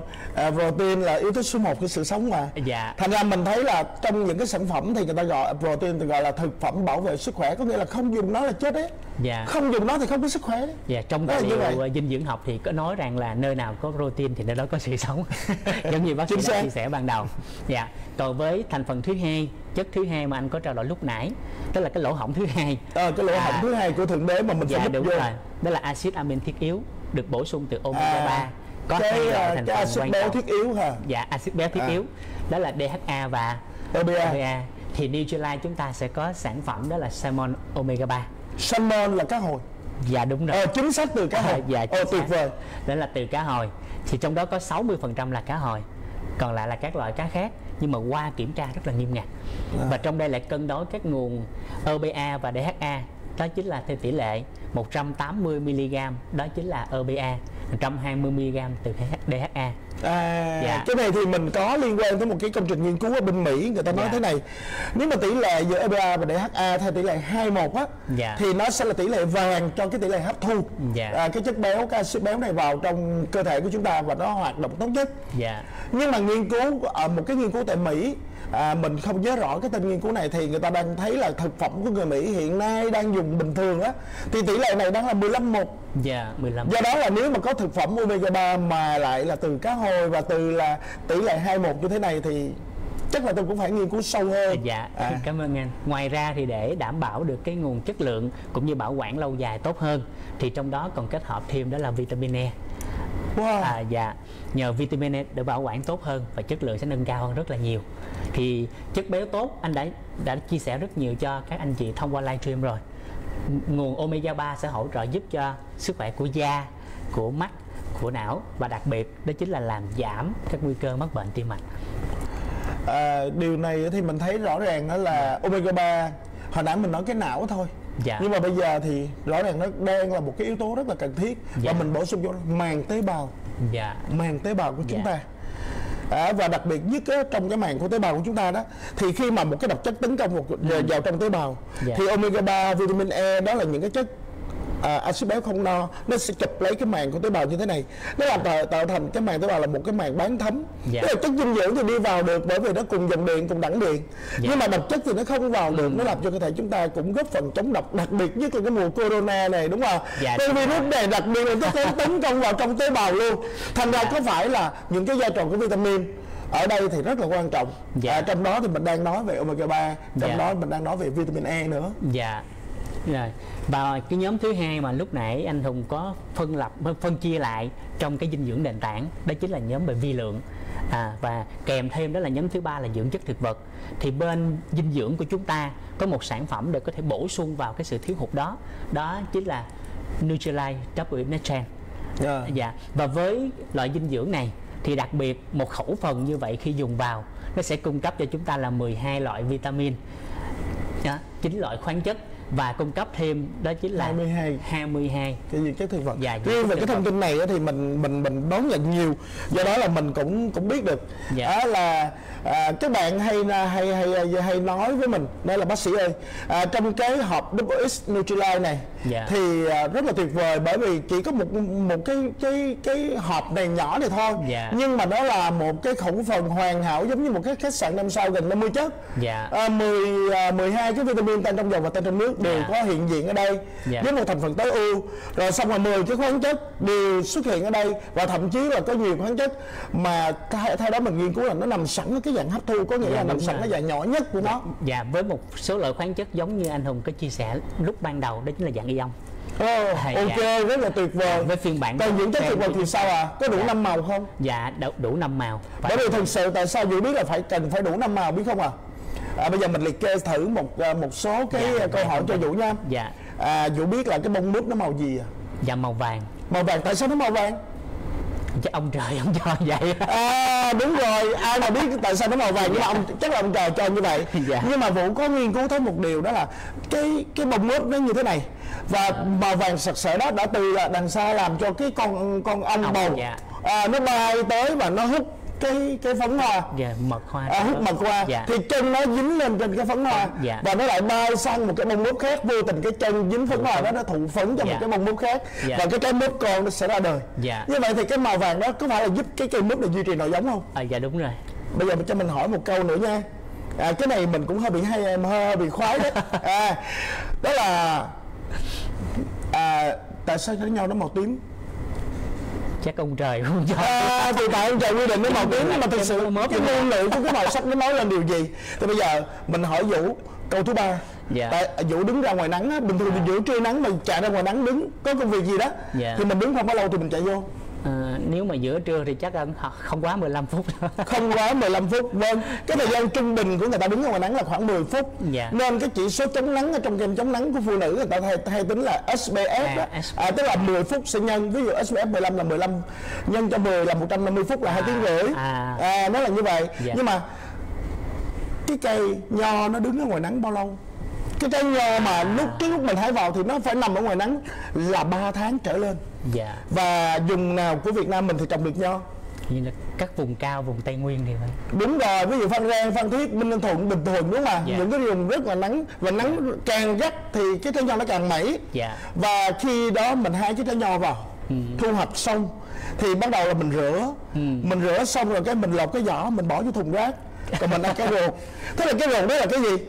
Là chất đường. Dạ. à, là chất đường. Thành ra trời hại tiểu đường. Nhưng mà mình bây giờ mình coi lại là cái vỏ nó nghiên cứu lại cái vỏ nó thì cái vỏ nó rất là mỏng nhưng mà rất là kiên cường. Dạ. cái trái nho mà nó hư là nó hư từ cái Từ cuống nó hư xuống chứ dạ. không phải là nó hư từ bên hông nó hư vào. Dạ. Thành ra ngày, ngày nay người ta phát hiện ra được cái màu sắc và cái dưỡng chất thực vật à, nó nằm nhiều ở trong cái bộ phận vỏ của rau củ quả. Dạ. và những cái màu đó đều có nhiều cái ý nghĩa mà mình thấy là chỉ có thiên nhiên mới phong phú thiên nhiên mới đa dạng màu sắc và thiên nhiên mới nhiều chất thôi. Dạ. À, và trong khi mà thiên nhiên dùng cái cách nào để mà chống lại với những cái yếu tố khắc nghiệt?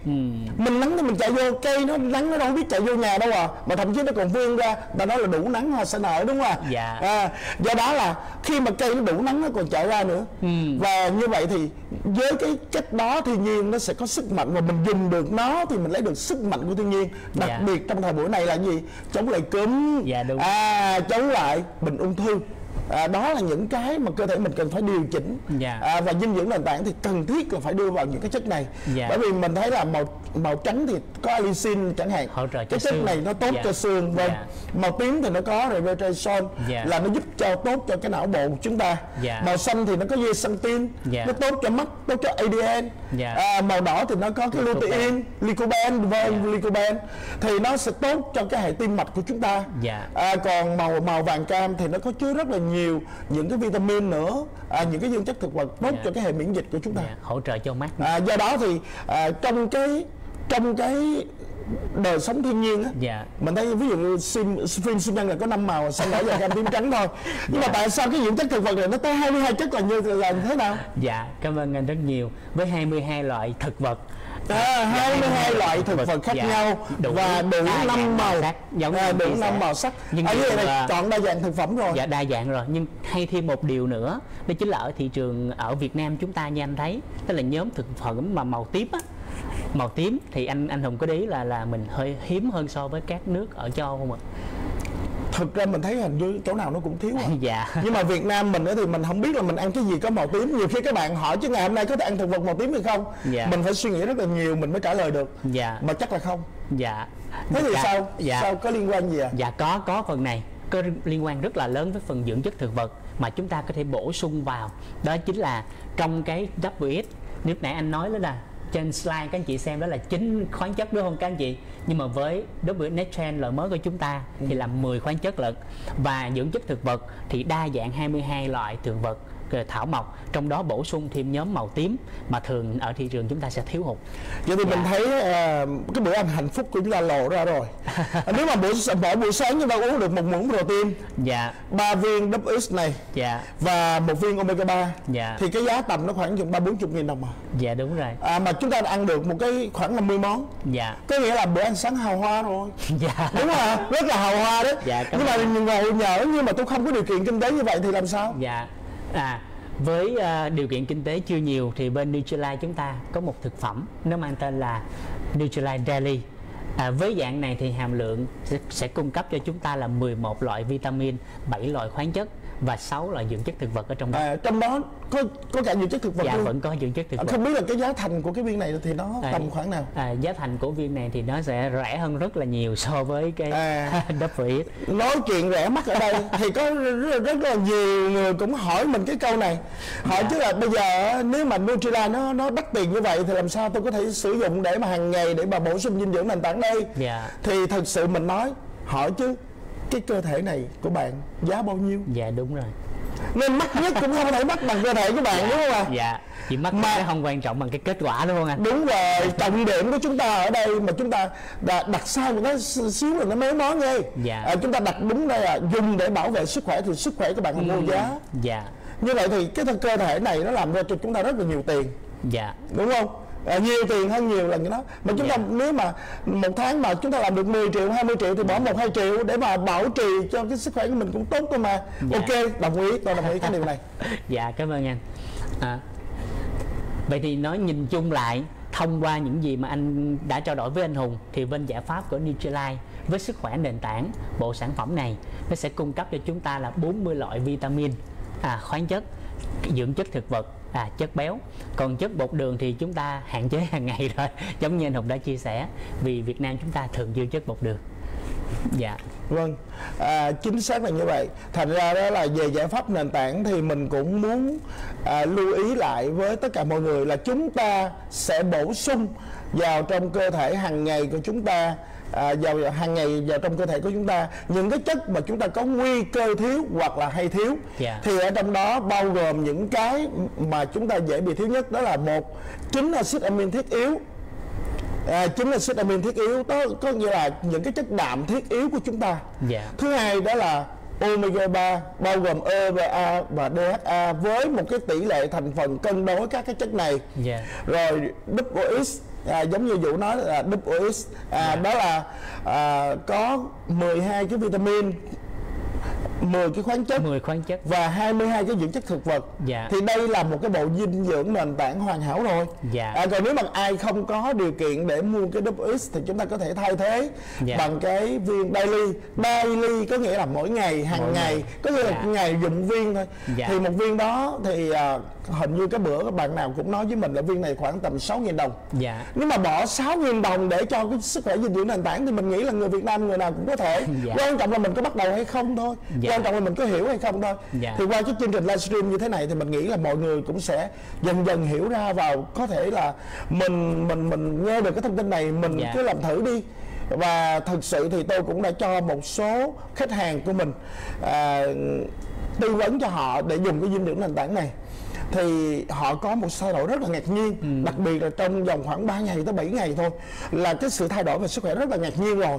Nhưng mà tôi cũng hỏi à, theo như Vũ à, có cái thông tin nào là chúng ta cần phải dùng hàng ngày? Vậy thì dùng bao lâu được không à? Hay là dùng mỗi ngày đều được trong Dạ. suốt cuộc đời này Dạ với khuyến nghị của Nutrilite thì đó là nhu cầu hàng ngày rồi cho nên À. mỗi ngày cung cấp bởi vì lúc nãy chúng ta đã dùng một cái từ nó mang tên là nền tảng mà đã là nền tảng thì sao ạ? Vâng, rất là quan trọng bởi vì cái nhà Dạ. mình mà mình xây móng kiền, móng băng Dạ. à, rất là chắc chắn rồi thì ở Dạ. trên đó mình xây mấy chục tầng đó là chuyện của mình thôi. Dạ cho nên hàng ngày chúng ta bổ sung những cái dưỡng chất như vậy nó À. sẽ hỗ trợ cho sức khỏe của chúng ta nó sẽ làm cho chúng ta hạn chế trong vấn đề bệnh tật. Hoặc là nếu như có bệnh tật thì chúng ta cũng có khả năng phục hồi tốt hơn nhiều. Bây giờ thì thật sự mình cảm thấy à, tham gia vào buổi livestream này mình cảm thấy rất là tuyệt vời. Đó là gì ạ? Đứng trước một cái đại dịch cúm. Dạ. thì nếu mà mọi mình thấy là có nhiều cái cái, cái cúm ngoài kia hay trời thời tiết áp thấp nhiệt đới ngoài kia là trong đây có người dự báo thời tiết rồi. Dạ. Đúng không ạ?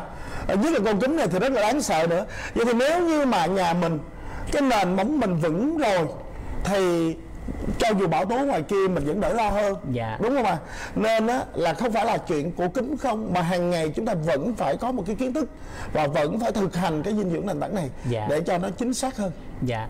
À, vậy thì nhân tiện thông qua buổi livestream tối nay á, à, có thể bác sĩ Hùng chia sẻ thêm một chút mà đang đang trong hot hiện tại của xã hội, đó chính là dịch corona.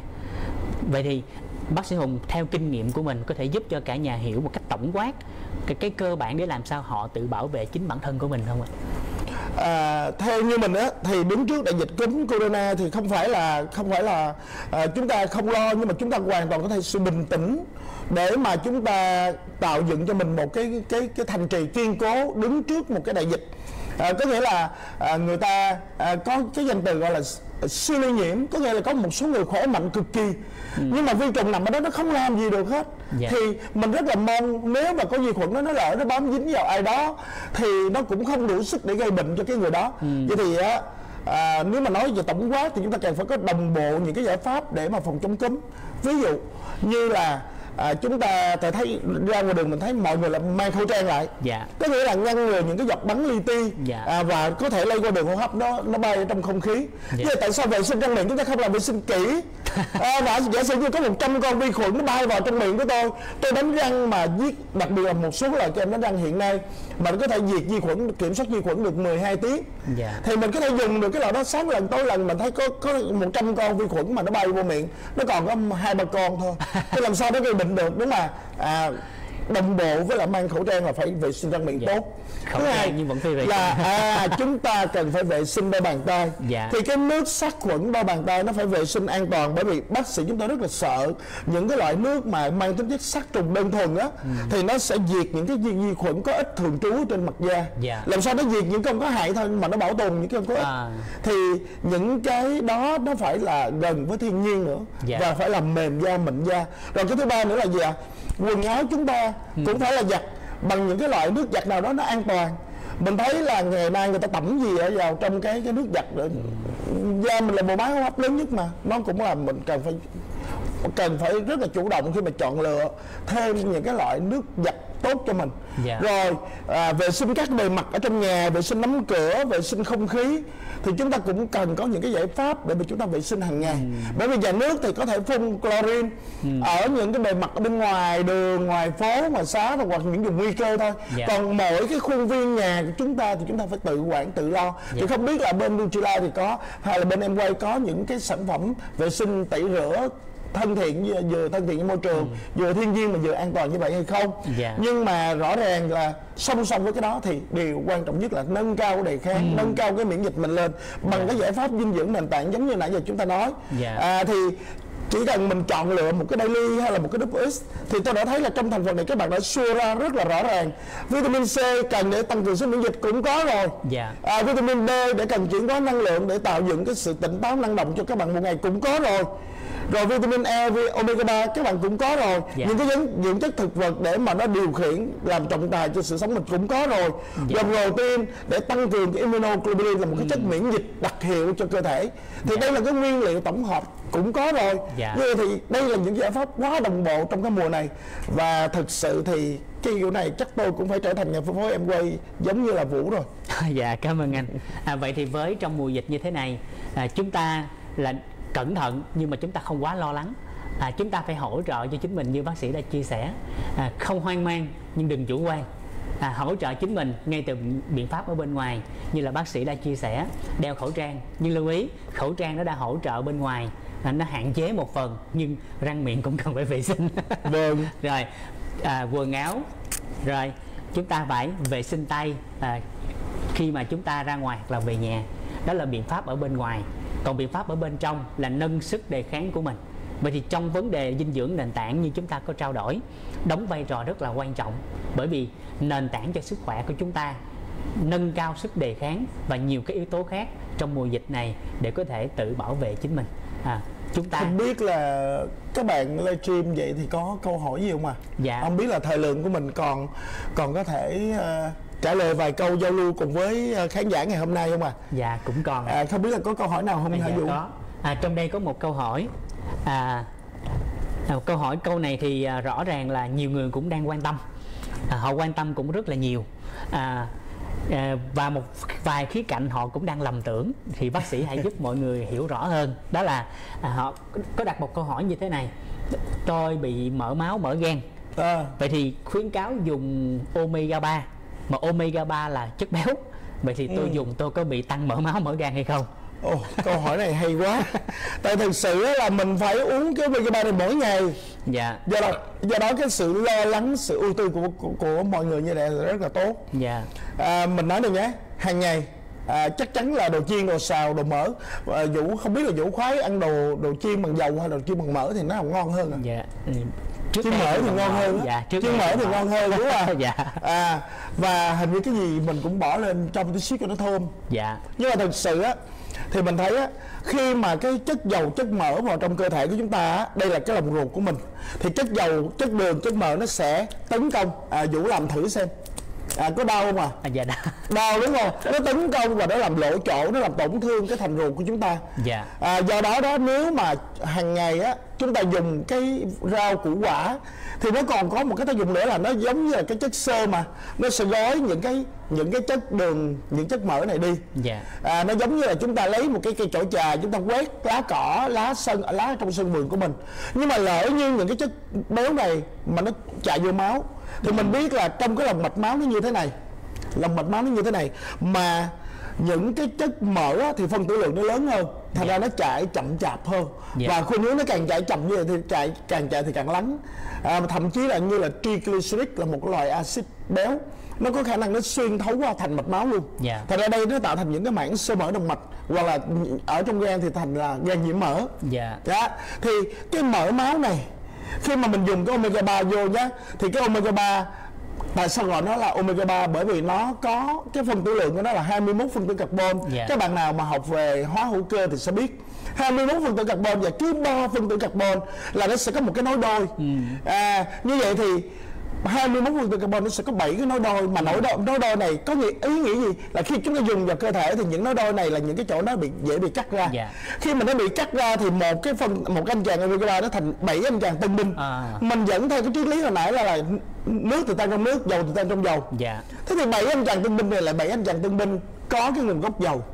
Thế thì nó chạy ở trong lòng mạch máu nha Dạ. khuynh hướng nó nó đáng lại nó là 21 mà bây giờ nó còn có ba thôi. Thành ra nó phải kiếm để nó gắn lại cho nó chứ à, thế thì nó kiếm ở đâu? Nó kiếm ở những cái mảng sơ mỡ mà nó mỡ nó đã đóng trong đó rồi. Dạ. à nó giống như những anh chàng tân binh còn những cái anh chàng kia là những anh chàng sĩ quan lâu năm ù lì rồi. Dạ. nó nói ê đi theo tôi chơi. Và và cái anh kia thấy mặc sắc phục đồng phục giống nhau mà thành ra đi theo. Có nghĩa là nó rỉa rỉa từ từ những cái mảng sơ mỡ đó. Dạ. nó nó mà rỉa những cái mảng sơ mỡ đó tróc ra thì nó tạo thành yếu tố để cung cấp năng lượng cho Dạ. cơ thể. Mặt khác thì nó làm cho cái cơ thể của mình nó vận chuyển và nó sử dụng để mà cái lòng mạch máu này nó thông lại. Giống như là omega 3 là chúng ta sử dụng những cái cây chổi tơ những cái chổi lông gà. Chúng ta quét vào những cái những cái hang cùng ngõ hẻm ở trong nhà chúng ta hoặc là trên bàn trên ghế trên máy vi tính của chúng ta vậy. Dạ. như vậy thì kết hợp với lại cái chất xơ ở trong rau củ quả thì cái omega 3 này nó đang làm vệ sinh cái mạch máu chúng ta mà chúng ta đang có 924 km ngàn chưa xin lỗi 924.000 km mạch máu như vậy. Thì cái cách khôn, khôn ngoan nhất là dùng cái omega 3 hàng ngày để làm vệ sinh 924.000 km này. Dạ. đúng không ạ? Và khi mà mạch máu nó thông suốt là như vậy thì gan chúng ta nó cũng sẽ sạch sẽ sẽ lại mạch máu chúng ta sạch sẽ lại. Và chính vì vậy mà đó nó mới mới là một cái thành phần để đưa vào trong cái dinh dưỡng nền tảng của chúng ta Dạ. Như vậy thì à, omega 3 dùng hàng ngày thì nó hỗ trợ nó ngược lại hoàn toàn với những gì mà chúng ta lầm tưởng là nó không làm chúng ta tăng mỡ máu. vâng Dạ. Mà và thậm chí là những cái người mà tăng huyết áp nha À. những cái người bị mỡ máu cao thì phải dùng cái lượng omega nhiều hơn Dạ. bởi vì cái omega 3 này vô nó sẽ dọn dọn dẹp mà Dạ. chúng ta cần phải dùng nhiều liều hơn thành ra cái liều khuyến cáo ví dụ nếu là omega 3 từ cá hồi thì chúng ta dùng từ 1 tới 3 viên Dạ. có nghĩa là bạn có quyền dùng một viên đến 3 viên một ngày đó là Dạ. cái người trung bình liều trung bình cho một người bình thường thường là sẽ được in trên cái nhãn hiệu Dạ. nếu như là bác sĩ thì là 8 viên Dạ. 6 viên 8 viên đó là cái liều dinh dưỡng nhu cầu hay là dinh dưỡng điều trị bằng dinh dưỡng rồi Dạ. à, nhưng mà khuyến cáo mọi người thì cứ dùng bình thường thôi à, Dạ. không phải là chúng ta dùng nhiều mà là chúng ta dùng đều Dạ. Vậy thì với vấn đề điều trị thì các anh chị lưu ý nên tham khảo ý kiến của các chuyên gia, của các bác sĩ. chính xác À, về khía cạnh chất béo như phần ban đầu chúng ta có giao lưu là nếu như anh chị nào hàng ngày hoặc là hàng tuần không cung cấp đủ cho mình 200 gram cá béo trên tuần đặc biệt là cá biển thì có thể bổ sung omega 3 hàng ngày với liều lượng là 1 cho tới 3 viên. Dạ, cảm ơn bác sĩ. à, có người nói là cái viên này nó mắc quá Dạ, bảy tám ngàn gì đồng á đồng đó là có đúng à? Dạ, vậy thì mình cũng có lời khuyên bạn cũng có thể không uống cũng được nữa. Dạ. nhưng mà bạn cứ dùng con cá bằng bàn tay như thế này cá sống nhé. Dạ. và bạn ăn sống nhé. Được không à? Đều đặn mỗi ngày. Dạ. và thật sự nếu mà con, con có con cá như thế này chúng ta cũng phải mua vài chục nghìn đồng. À, dạ. nó rất là đắt. Do đó thì thôi tốt nhất là chúng ta dùng rồi xong đó chúng ta ăn được bao nhiêu thêm nữa thì nó càng tốt mà À, dạ cảm ơn bác sĩ vậy thì nếu như khía cạnh omega 3 đã tốt rồi nếu mình có thể bổ sung thêm 6 9 nữa thì tốt hơn không bác sĩ À, có hai giai đoạn để mà người ta có thể điều chế. À đây là một cái lĩnh vực là dược lâm sàng và may mắn tôi cũng là có bằng dược lâm sàng sau đại học. Dạ. Thì có hai giai đoạn để để, để điều chế cái omega 3. Đầu tiên là người ta phải bắt con cá nó lên. Dĩ nhiên là con cá này phải được kiểm tra vệ sinh an toàn thực phẩm nhé. Dạ. Xong rồi người ta mới chưng cất con cá này lên và con cá này được tách dầu ra khỏi những cái thành phần khác. dạ Thì khi mà tách dầu ra khỏi thành phần khác thì nó gọi là dầu cá fish oil. dạ À, khi mà là dầu cá xong rồi thì trong đó có rất là nhiều những cái tạp chất hay hoặc nhiều cái chất khác có cả cái omega 3 số 9 ở trong đó và giai đoạn thứ hai là mình mình mình thấy được là chỉ có omega 3 thì cần do đó là mình dùng cái mình dùng cái giai đoạn thứ hai là tách omega 3 ra khỏi omega 6 và omega 9 ừ. Thành ra trên thị trường mà chúng ta thấy fish oil có nghĩa là giai đoạn 1 thôi hoặc là sau 369 có nghĩa thật ra đây là dầu thô thôi Dạ. à mà chúng ta cơ thể chúng ta cần là cần cái ba bởi vì 69 là những chất gây viêm Dạ, vậy là với omega 3 hàng ngày theo nhu cầu khuyến nghị như vậy là đã ổn rồi. Còn ai có điều kiện ăn được cá như bác sĩ nói thì nó quá tốt. À, cả hai cả hai là Dạ. tốt hơn. Dạ, cảm ơn bác sĩ. Rồi, à, một câu hỏi cũng liên quan trong khía cạnh livestream tối ngày hôm nay mà các anh chị có đặt câu hỏi đó là họ có một anh chị hỏi như thế này đó là hàm lượng triple cao hơn hàm lượng daily Ừ. à, vậy thì à, tại sao khuyến nghị là dùng WX tới hai lần trên ngày mà daily chỉ có một lần à, à với câu hỏi này thì với khuyến nghị của Nutrilite thì cho phép Vũ trả lời câu hỏi này. Dạ như lúc nãy có trao đổi với anh Hùng với bác sĩ Hùng thì như chúng ta đã chia sẻ rồi ai có điều kiện tốt hơn thì chúng ta dùng WX nhưng với điều kiện kinh tế chúng ta chưa đủ như mong muốn thì Daily là giải pháp cho chúng ta. Bởi vì hàng ngày một viên Daily đã có thể cung cấp cho chúng ta hàm lượng 11 vitamin 7 loại khoáng chất và dưỡng chất thực vật với một cái, chi- một cái chi phí có thể là kho- khoảng 6 nghìn thôi. Nhưng điều kiện kinh tế ai tốt hơn thì có thể thay thế bằng hit giống như là bữa ăn nó cao cấp hơn. Tức là tốt và tốt hơn. Tốt và tốt hơn. Và tùy theo nhu cầu của mình. À được không các anh chị? Rồi.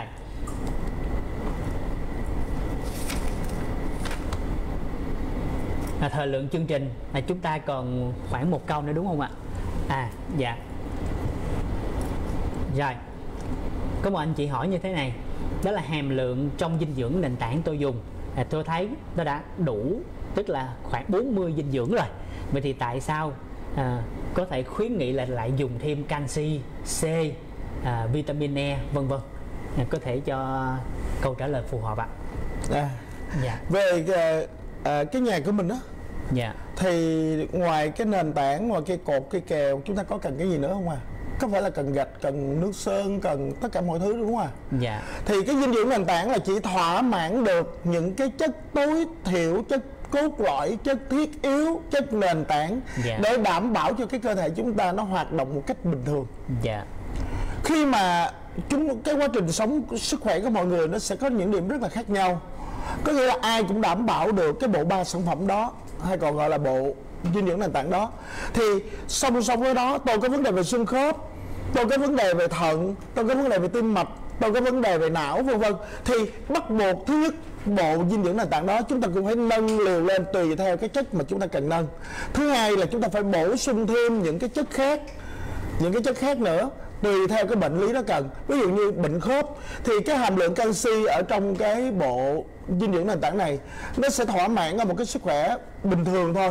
Chúng ta có bệnh khớp thì nhu cầu canxi cần cao hơn bình thường, thì chúng ta cần phải bổ sung thêm cái canxi. Hay là những cái người nào đó mà có vấn đề về mắt thì chúng ta cần phải bổ sung thêm cái lượng beta carotene vô. Thì đó là những cái mà mà chúng ta chú ý à, trong cái à, dinh dưỡng này. Nên nó là có hai cái mức dinh dưỡng à, mọi người nhớ đó là dinh dưỡng nền tảng và dinh dưỡng nhu cầu. Thường là dinh dưỡng nhu cầu này sẽ là dinh dưỡng điều trị hay là dinh dưỡng nhu cầu? Thường là có tham vấn của bác sĩ dinh dưỡng hoặc là chuyên gia dinh dưỡng giống như anh Vũ ở đây.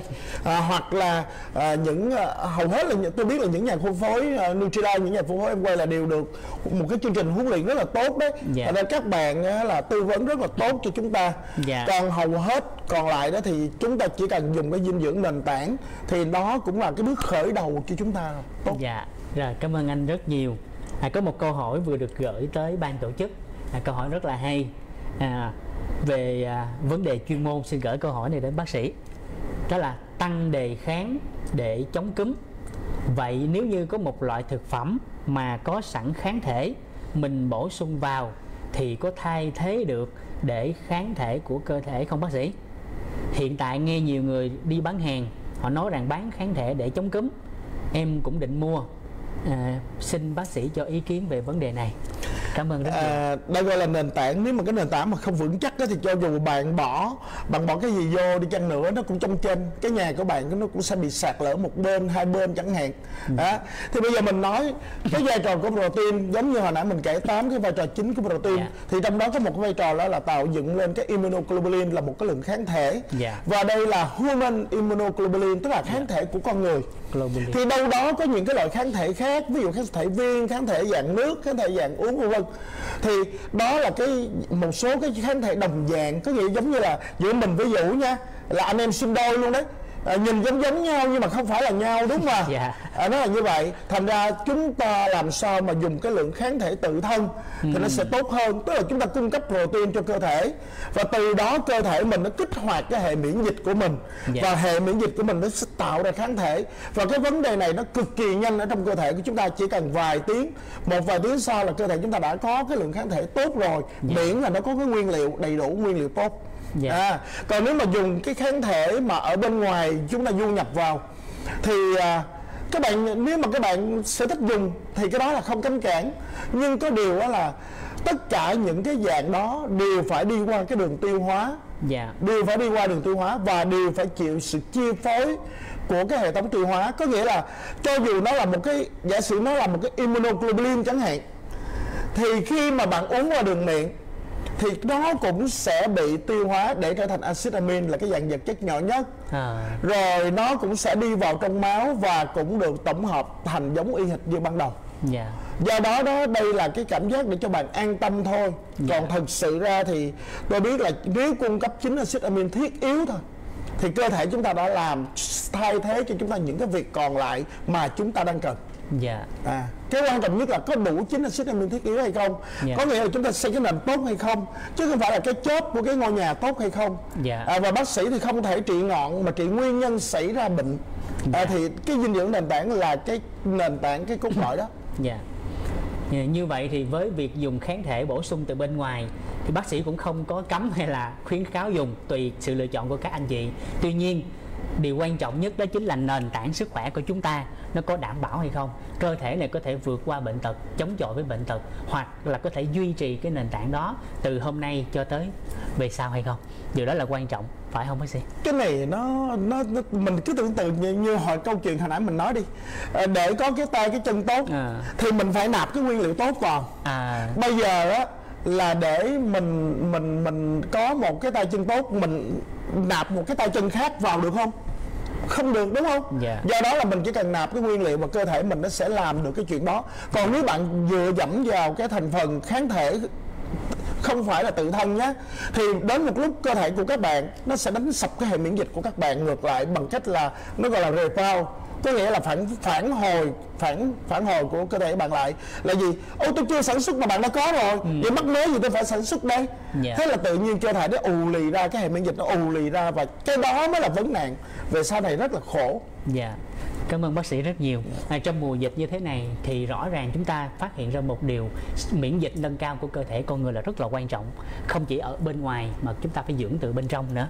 Vì vậy, dinh dưỡng nền tảng là một trong những giải pháp mà các anh chị có thể tham khảo, có thể tìm hiểu và từ đó có thể nâng cao chính nền tảng sức khỏe của bản thân mình. Bởi vì hơn ai hết, sức khỏe là của chính mình. Đúng không bác sĩ? Dạ. Vâng. Và bao nhiêu tiền đi chăng nữa thì với cơ thể này rõ ràng cũng không có thể lấy được cái cái trạng thái như ban đầu được chỉ có một cái thông điệp cuối để mà muốn nhắn gửi với mọi người là đôi khi á à, đừng từ chối ai nói những vấn đề về sức khỏe với mình và khi mà người ta nói về những vấn đề sức khỏe với mình rồi á mình đã cảm giác được là à, à mình cần phải sửa chữa lại chính cái bản thân mình để cho nó tốt Dạ. hơn vậy thì chúng ta bao giờ là bắt đầu cái việc dám quan trọng hơn là biết Dạ. do đó là chúng ta cần phải có một cái sự khởi đầu và khởi đầu tốt nhất tức là ngay từ tối hôm nay. Dạ cảm ơn bác sĩ. Và chia sẻ lại một lần nữa để các anh chị có thể nắm trong buổi tối ngày hôm nay. Đó chính là sức khỏe là gì giải pháp nào để có thể đến được cái sức khỏe tối ưu. Cho nên dinh dưỡng tốt là điều rất là quan trọng tuy nhiên lối sống tốt một cái hình một cái thói quen tốt nó rất là quan trọng nhiều hơn nữa trong so hiện đại này. Đặc biệt đó chính là trong mùa dịch hiện tại. Nếu chỉ dùng dinh dưỡng thôi mà các anh chị không có một lối sống tốt không có bảo trợ từ bên ngoài như là khẩu trang vệ sinh vân vân thì sức khỏe chúng ta cũng có nguy cơ. À, tuy nhiên dinh dưỡng là một trong những khía cạnh quan trọng để chúng ta có thể có được một sức khỏe tốt. Và khi nhớ tới dinh dưỡng các anh chị hãy nhớ tới dinh dưỡng nền tảng. Được không các anh chị? Và thông qua buổi tối ngày À, hôm chắc là nay. mình phải bổ sung thêm thông, thông tin là bộ dinh dưỡng nền tảng đến từ Bộ. thương hiệu dạ Nutrilite. Vâng. Cảm ơn bác sĩ rất là nhiều. Vâng rất là À, cảm ơn Vũ. Dạ một lần nữa thì hôm nay 26 tháng 2 à, ngày mai là ngày đặc biệt là ngày thầy thuốc Việt Nam. À, xin gửi lời chúc sức khỏe lời chúc chân thành đến bác sĩ Hùng cũng như tất cả những người làm trong ngành sức khỏe. Một ngày và không chỉ ngày 27 tháng 2 mà những ngày còn lại hãy phát huy tinh hoa của nền y học của chúng ta và mang tới sức khỏe cho nhiều người hơn. Một lần nữa cảm ơn bác sĩ. Cảm ơn Vũ và, và cảm ơn và xin chào tất cả các bạn à, đang cho theo dõi chương trình livestream ngày hôm nay. Xin chào các bạn. Dạ, cảm ơn các anh chị rất là nhiều. Những câu hỏi còn lại chúng ta sẽ tổng kết và gửi cho các anh chị sau. Hẹn gặp lại các anh chị vào các chương trình sau. Chúc các anh chị sức khỏe và thành công.